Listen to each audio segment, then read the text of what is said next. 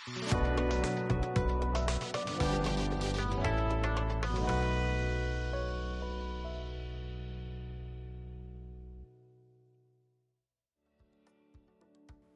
its most basic, masking covers up a multitude of sins backstage, like the unsightly walls of the stage, not to mention all the bits and bobs needed by the production.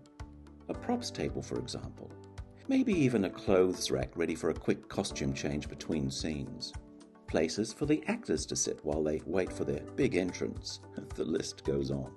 Here we use a cyc or cyclorama to hide the rear wall and backstage entrances.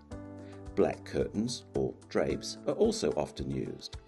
Let's add some vertical masking, something to cover those horrible walls.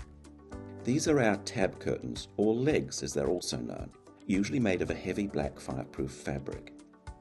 Of course, our audience, particularly those sitting in the front row, can still see the lighting bars and possibly even the roof of the stage, so let's cover those too.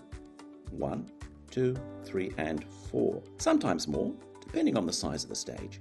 This is our horizontal masking, our border curtains. Now let's take a look overhead to get a better idea as to how sightlines affect our placement of the masking curtains. These are best viewed from the auditorium, from the front row seats, being the closest to the stage. When properly constructed and sizes appropriate to sightline requirements, all curtains should totally mask off all unwanted areas from audience view. We want to match this on the other side of the stage too. And if we turn to the side of the stage, the same applies to the border curtains as well. There, now you know all about sightlines and masking. Next time, we'll look at masking flats on constructed stage sets.